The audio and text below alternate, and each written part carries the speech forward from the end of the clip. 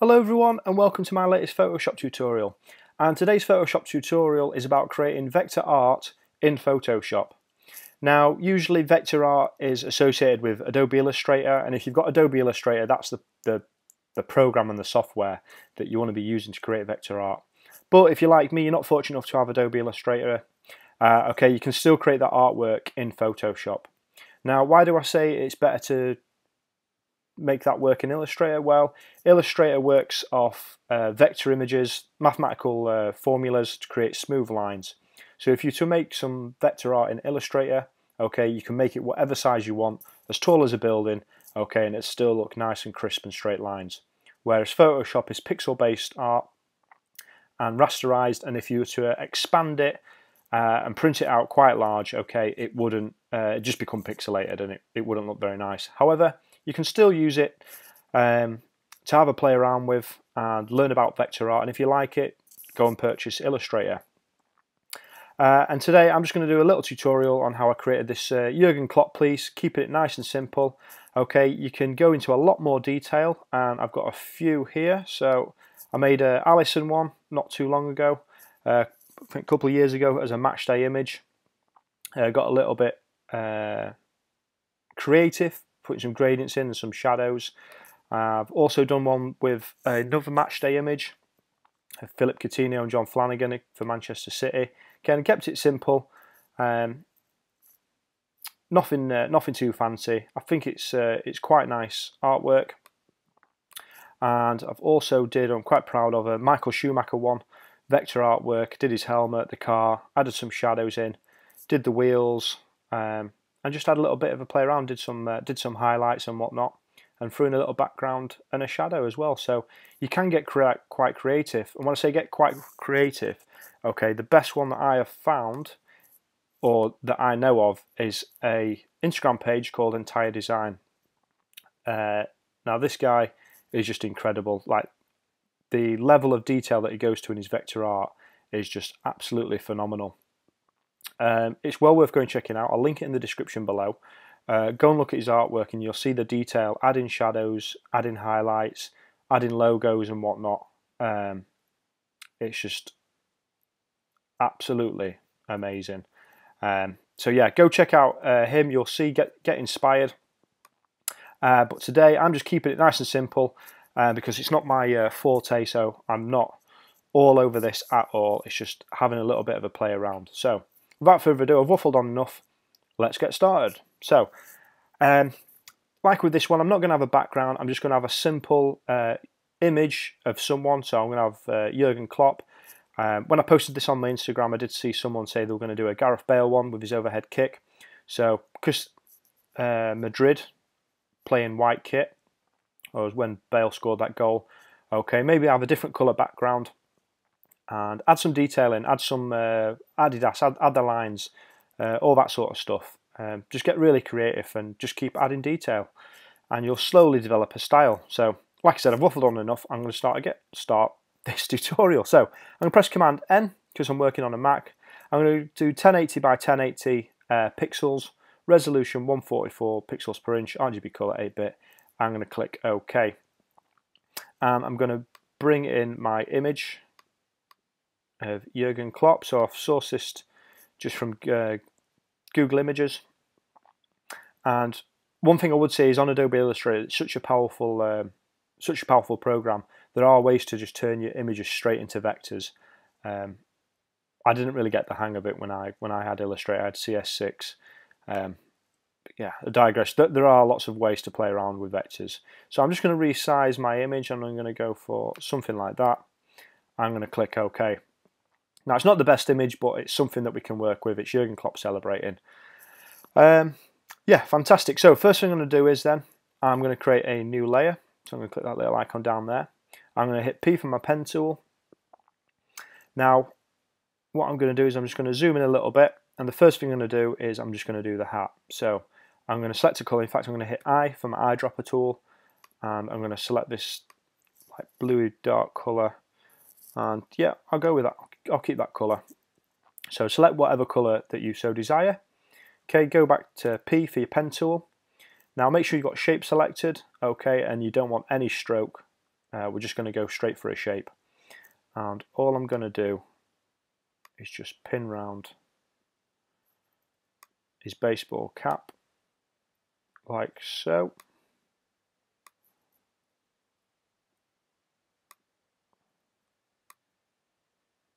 So if you're not too familiar with a pen tool and you want to do vector art, okay, I would really suggest that you go out there and learn the pen tool. It's a uh, fantastic resource. Uh, okay, so I've done his hat. I'll take that away and you can see we've got his hat.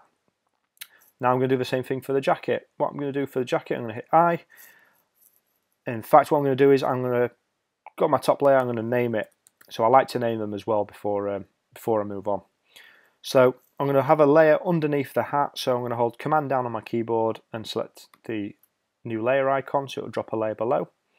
I've got my eyedropper tool already selected and it's got this bluey colour. We'll go for something a bit darker. Want it to contrast the cap slightly and you can see from that dark blue to the black I think it will do. So hit my pen tool again and I'm going to go around and create a shape. So I'm going to start here and I'm just going to go around the contours of his ears.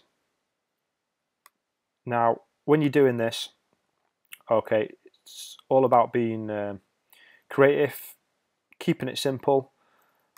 Okay, if you're starting to struggle, just start again it is um, it is a hard skill to master. It's not something I uh, did really well with when I had Illustrator. I used to um, make like flat landscapes, and I've got a few early tutorials on that as well. So I'm not too worried about the creases in his arms. Uh, I'm just doing a rough a rough outline.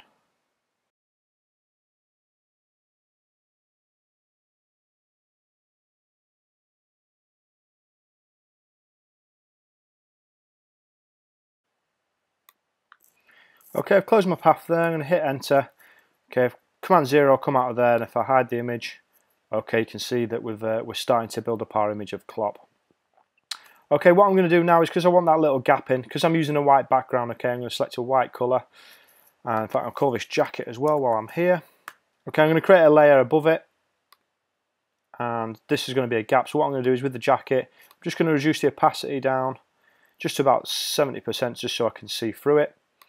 Make sure I've got my uh, new layer selected. Hit P for my pen tool and I want a white colour so I'm going to press D on my keyboard and then press X so it resets my palette and I'm just going to draw a line but what I'm going to do is I'm just going to draw a little gap in there just so we get a sense of that arm it's extending round. Yeah, we'll go for something like that. Okay, I'm going to cut all that gap. Okay, on the same layer, okay, you can do it on different layers. I'm just going to do the hand as well. Now you can do all of this on the same layer if you so wish, but um, I find it easier to do it on different hands. So I'm just keeping it really simple. So I've come out of there, go for the jacket, flood the opacity, get rid of the Klopp, and you can see what we've uh, what we've achieved so far. If you look at this image, okay, his hands are very basic.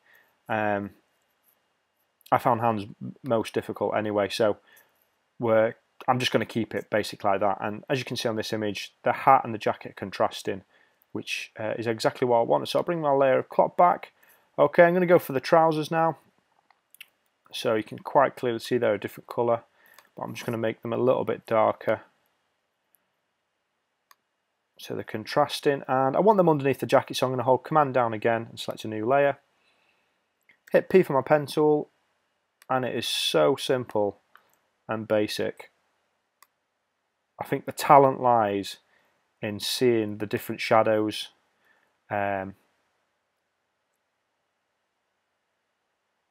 I've not done the fill correctly so I'll come back fill select the latest colour P for my pen tool again, sorry.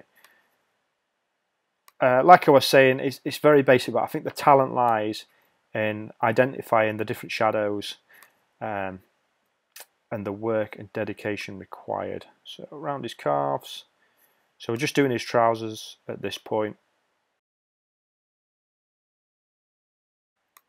So you can see how quickly I'm doing this. Um, if you take your time, if you spend a good couple of hours on something like this, the amount of detail that you could add um, is phenomenal.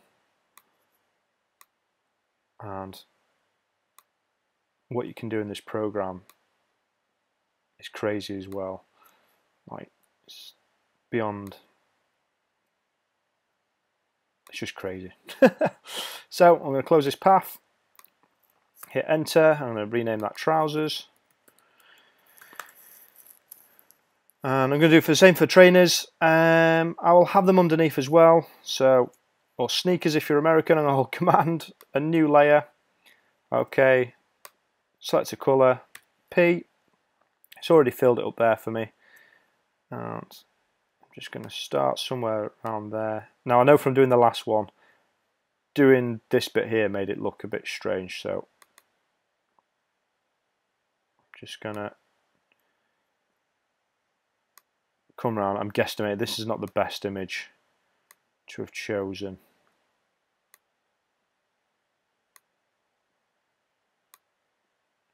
I'm going to close it, but what I'm going to do is I'm just going to add a curve in. Just add a bit of white. Something like that. And then I'll zoom in. So I'll do the trainers on the same layer. In fact, no, I won't because I messed it up. So that would have been his right trainer. And then new layer, doesn't matter if it's top or bottom. This one will be the left trainer. Uh, yeah, the trainers look okay just for the purposes of this tutorial. Uh, now I'll do his beard, so I'm going to go and underneath his hat. Okay, command and new layer. Okay, let's get Jurgen Klopp's beard up and I use this colour over here, this grey. So you can sample it, but I use this colour here, this 858481. And I'm just going to, because it's underneath the hat, it's uh, it's hidden. Just going to keep it simple. Onto his beard. Moustache. Okay, I'm going to trace around his face at this point as well. Okay, I'll call that beard and I want a little bit of a shape for a mouth. And I want a, a white colour like what we used before.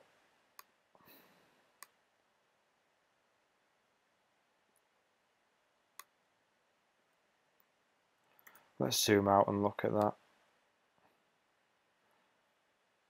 Yeah that's looking alright it's looking okay it's not perfect but I'm just going through it for the tutorial.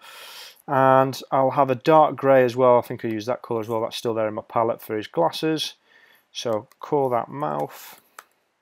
Okay you do acquire quite a lot of layers. You can start grouping them. Um, but for something simple like this I wouldn't worry too much about it. So I'm going to start up here. I'm going to come to about there. So it's not going to be perfect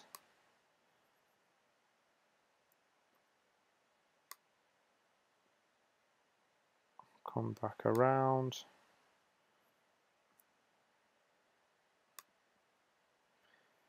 Close it off. Okay, and I want a lens, so I'll call that glasses. And then just let that white up there. It won't matter. So if you can see here, if I zoom in, obviously the pixels, see how it's pixelating there? Okay, and just around the image. If you were to use Adobe Illustrator, uh, you wouldn't have that problem. It'd be nice and smooth. So command zero, and why is his mouth gone a different colour? Mouth, fill, back to white. Yeah, command zero, and then hit enter. There we go. I've messed up his glasses. Okay, so you see here, yeah, see here I've done a better job, ish, and then you can uh, draw around a hand around. So we'll go for his jacket. And then a new layer underneath. We'll go for the colour of his beard. And in fact, what don't want a shape, so we'll click that little line there. We want a stroke, and we'll go for that latest colour there. And we'll have the stroke size start at 7. In fact, let me bring this back. Okay, obviously it's too thick. Close that off.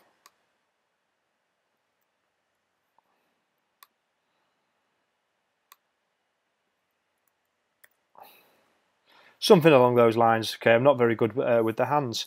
And then what I can do is I'm just going to select all the layers that we've used. Command T, I'm just going to centralize them as well.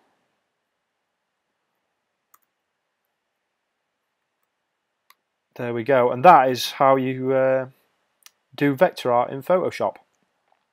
Uh, like I said before, you can get creative, so you can now. So what what you could do is if you've uh, if you've got your image underneath, so I'll just select that. So before you move them, so line it back up. Okay, what you could do now is you could select your jacket layer, say, reduce the opacity, and then you could just go around every single shadow. Or if you just want to keep it simple, just do the New Balance logos, uh, the Liverpool logos of whatever team you're doing. Make sure you bring your opacity back up. Um, like for the right trainer, if I drop that opacity down, okay, we'll uh, we'll just do it now. We'll add in a N for the New Balance. And there you go. Then we start to add the detail.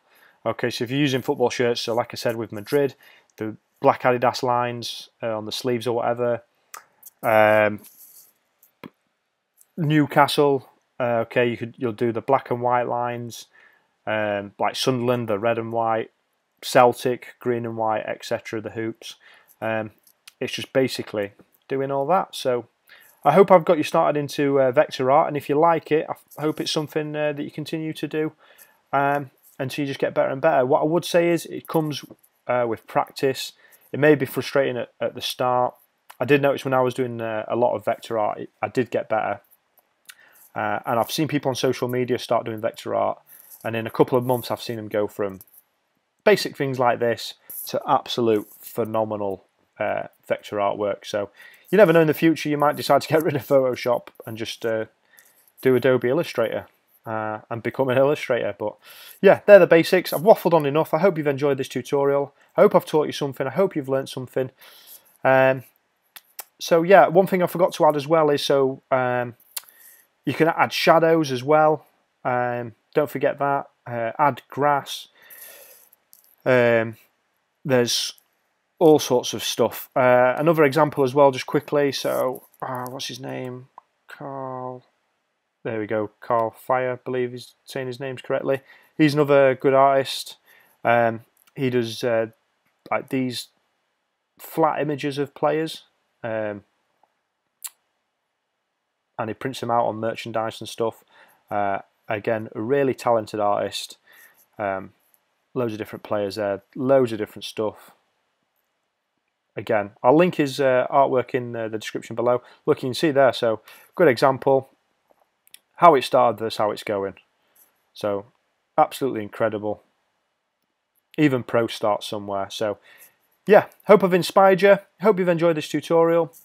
If you have, hit that like if you're new to my channel, please click subscribe if you like my content. Go check it out. And thanks for watching. And I'll see you in a tutorial very soon.